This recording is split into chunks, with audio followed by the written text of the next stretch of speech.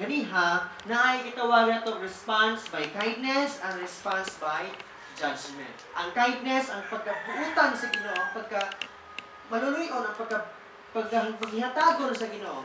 Ang judgment ang kining paghukom pod sa Ginoo. So, sa atong kinabuhi makaigsunan, mangutana ta, kinsa man ang mga hipokrito. Who are the hypocrites? Ang Romans chapter 2 mga igsunan, gisunat ni San Pablo, tungod kay naa siya gipadlong ng mga tao dito sa Roma. Naay mga tao nga hipokrito matod pa sa iyahang gipang describe dinhi. Ang pangutanan na gusto pangutanan is this, who are the hypocrites? Kinsa man ning mga hipokrito nga gipangisgutan dinhi sa Biblia. Well, ang number one nga posibleng uh, gimining sa hipokrito magkaigsunan sa Romans 2.1 is those people who fake themselves in the public worship and real in other place of life. Kaya mga tao nga, kung naa sila sa simbahan, they will fake who they are. They will fake sa ilang pagsimba sa Ginoo. Wala ko mag-ingon nga dili na ta pwedeng nga mahimong uh, muampo.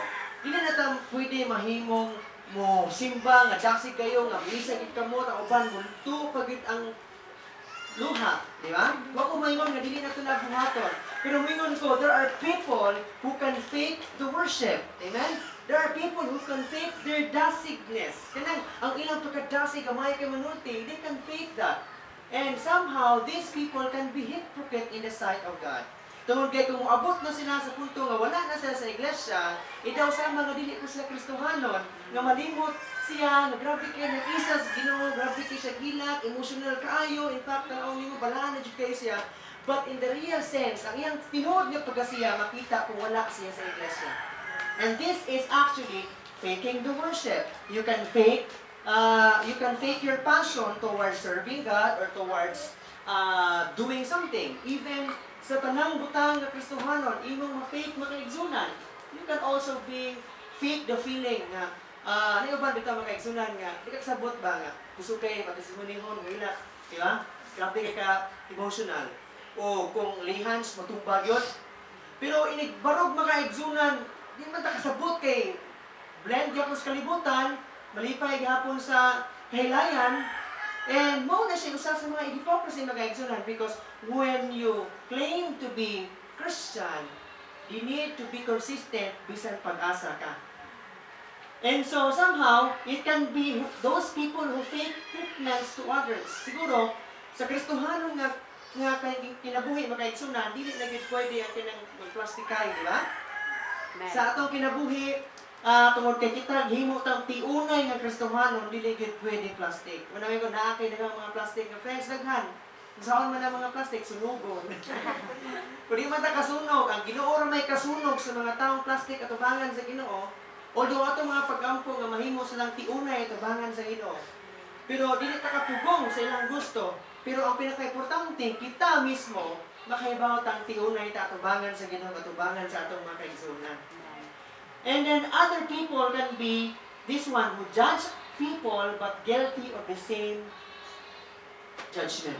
Kaya mga tao, gusto kayo ba nga mo mo mo hukom sa mga tao nga kini sila mga hira kini sila kini sila kini kawayon kini sila mga uh, sugarol kini sila mga kasani ka nang giwa sa Biblia mga walay Ginoo pero siya sa kagalingon otro pod nga nagbuhat ni atong mga butanga eh atubangan sa Ginoo hipokrito po tayo ison Tungod kay ningon ang Biblia, kung muhukom ka man sa uban, paning kamuti, una sa tanan nga dili ka guilty sa imuhang paghukom. Kini mga tao pwede pod nga who condemn people of their misdeeds but, but doing the same thing. So, mao-mao lang makaigsunan nga kusupay siya mo may mo badlong sa ibang tao. Imagine, kasuway mo ano, gibadlong mo sa tao nga pareha mo. Kung sa may itubag di mo, pareha mo kita, or naa sa imong kagalingon. Eh, may badlong ka ba? Brother, ayaw na sige ah inom brother ha, ayaw na sige ah kaning garilyo brother ha kay tanawa o.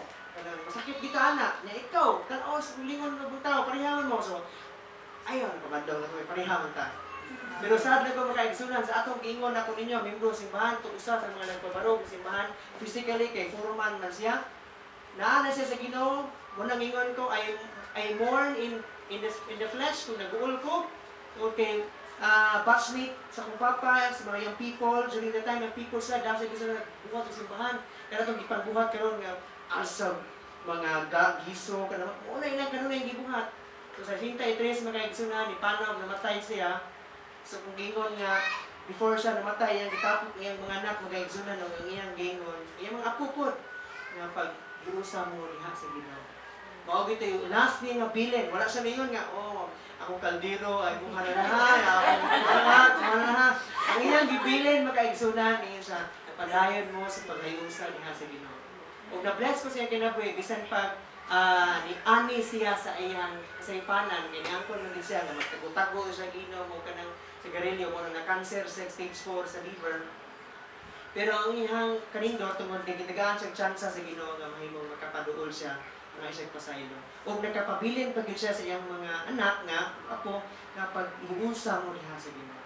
So ang tao nga ah mo fake sa iyang pagpagalagad sa Ginoo, mo fake sa treatment sa ibang katawhan. Kung siya tinud-anay nga anak sa Ginoo, himuon pinang tinuod sa Ginoo siya. Tagaan sa sirkumstansya nga makita gyud kung unsa ang iyang status sa iyang pagigrelasyon sa Ginoo. Na ay mga sitwasyon gamiton, like for example, mga kalisdanan, mga trials, itong mga tao, di pa kayo Brad, Pinig-una, agad din niya din, nagikakibaw, nagi mo, ah, daksi kiki ka, pero anay, nagigika nga ka ng tanaw sa mga tao, jolly kay ka, wala kay wala kay problema.